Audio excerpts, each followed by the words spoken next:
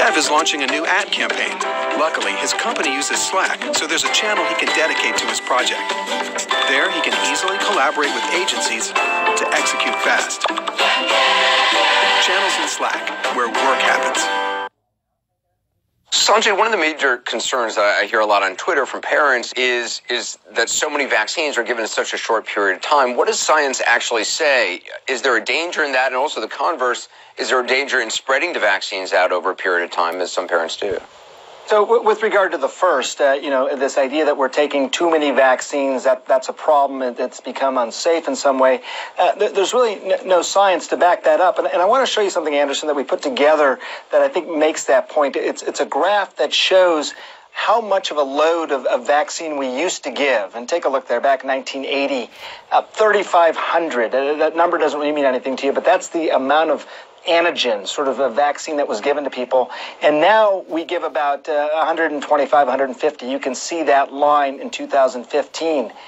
During that same time, autism rates uh, went up. So despite the fact that we in fact give less vaccine well, now, that's interesting the autism rates have gone up. So it's just an interesting point to make. But there's no there's no science to suggest that we give uh, vaccines to the point uh, because there's so many of them that it's unsafe.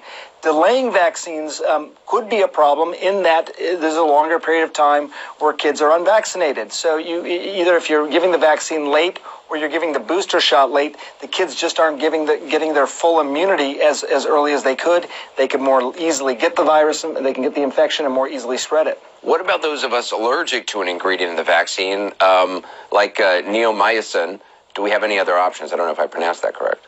Yeah, yeah, you did. Neomycin is an antibiotic that's often put in the vaccine to prevent it from uh, de- developing some sort of bacterial contamination. Typically, the vaccine is made up of, of, a little bit of inactivated virus from, in this case, measles, mumps, and rubella.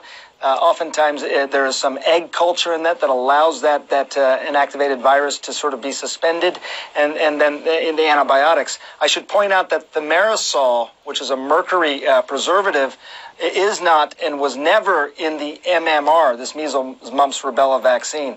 Um, having said that, people can be allergic to different components of it, and a lot of times uh, uh, manufacturers can create the vaccine without a particular component. eggs for example, is one of the big allergies often associated with uh, allergies to vaccines, and people can make these uh, vaccines, uh, in, in, particular for those individuals without eggs, or, or give some medicines ahead of time to try and diminish the allergic symptoms.